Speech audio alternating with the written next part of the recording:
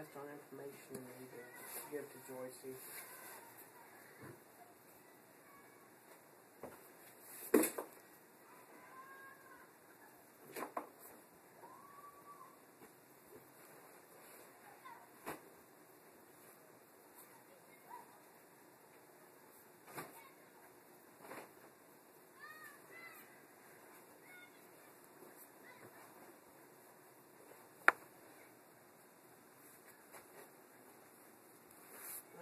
Someone telling me that uh,